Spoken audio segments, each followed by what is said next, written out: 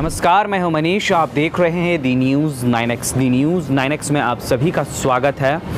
आज है 9 फरवरी 2021 9 फरवरी 2021 की बिहार से जुड़ी 25 बड़ी खबरों में क्या है?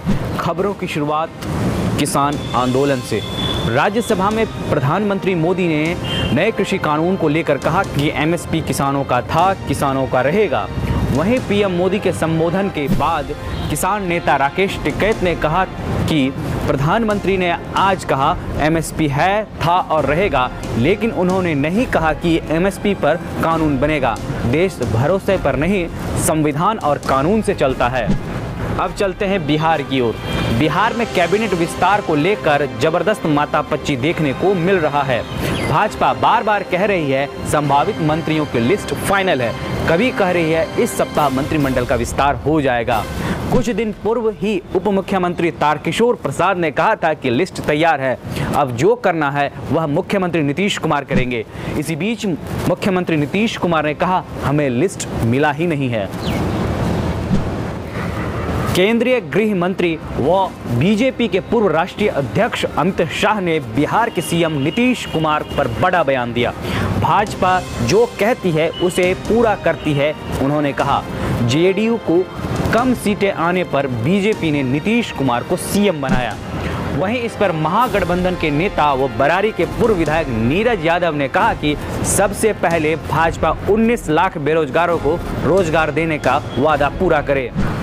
अब बिहार की अन्य जिलों की खबरें। पूर्णिया ज़िले के एन एस थर्टी वन पर मरंगा थाना अंतर्गत फिरियानी चौक के पास तीन युवकों को किसी अज्ञात वाहन ने रौंद डाला।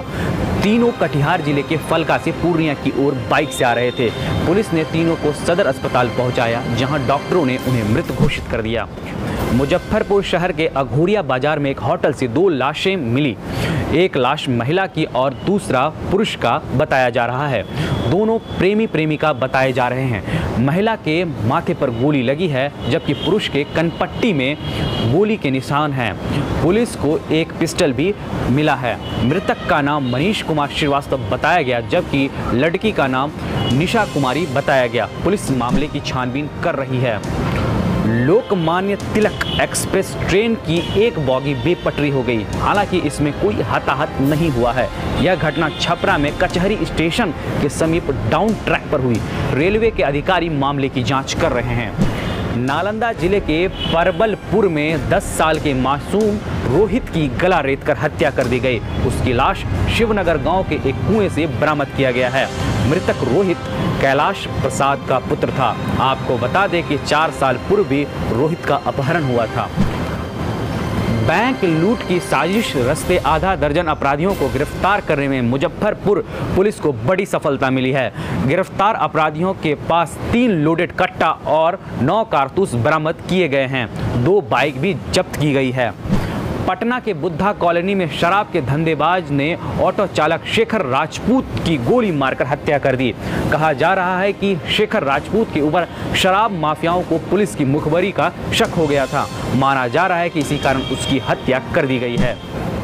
मामा मामी के बीच चल रहे झगड़े में आठ वर्षीय भांजे की मौत हो गई। मृतक का नाम लल्टू कुमार बताया गया। वह खगड़िया ज़िले के हथमन गाँव का वासी था। हाल फ़िलहाल अपने ननिहाल समस्तीपुर के बनभौर गाँव गया था। वहीं मामा की गोली से उसकी मौत हो गई। सुपौल के कुमारखंड में बिजली के बकायेदारों का कनेक्शन काटा जा रहा है। इससे हड़कप मच गया है। इसके साथ ही ज़िले के अन्य ग्रामीण इलाकों में भी बकायेदारों का कनेक्शन काटने की तैयारी तेज कर दी गई है। कटिहार ज़िले के मिल्की नवाबगंज की एक महिला से झपट्टा मार गिरोह के दो सदस्यों ने चालीस हज़ार रुपये छीन लिए। पीड़ित का नाम नीलम देवी बताया गया। वह कुर्सेला के एसबीआई शाखा से इंदिरा आवास योजना की राशि उठाकर घर जा रही थी। खगड़िया ज़िले के बलोहाई बस स्टैंड के समीप एक किसान से बाइक सवार झपट्टा मार ने एक लाख रुपए झटक लिया। रुपये थैले में था। थैला ही झटक लिया गया। पीड़ित का नाम अर्जुन ठाकुर बताया गया। वह बलतारा गाँव का रहने वाला है।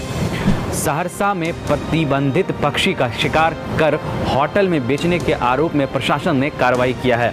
इस सिलसिले में कुछ लोगों को गिरफ़्तार किया गया है। इससे हड़कम मच गया है। अंत में खबरें मौसम की। बिहार में मौसम अब धीरे धीरे सामान्य होने लगा है। हालाँकि सुबह शाम कनकनी रहेगी। ऐसे में किसी भी तरह की लापरवाही, नुकसानदेह हो सकती है। ठंड अपना तेवर सीज़न समाप्त होने के समय ज़्यादा दिखाता है। ये थी बिहार से जुड़ी महत्वपूर्ण खबरें। खबरें कैसी लगी? आप अपनी राय हमारे कमेंट बॉक्स में ज़रूर दें। अगर आप हमारा यह वीडियो फेसबुक पे देख रहे हैं तो हमारा फेसबुक पेज लाइक करें। अगर आप हमारा यह वीडियो यूट्यूब पर देख रहे हैं तो हमारे यूट्यूब चैनल सब्सक्राइब करें। साथ ही साथ बेल आइकन ज़रूर बजाएँ, ताकि हमारी हर अपलोड की गई वीडियो सबसे पहले आप तक पहुँचे। शुक्रिया।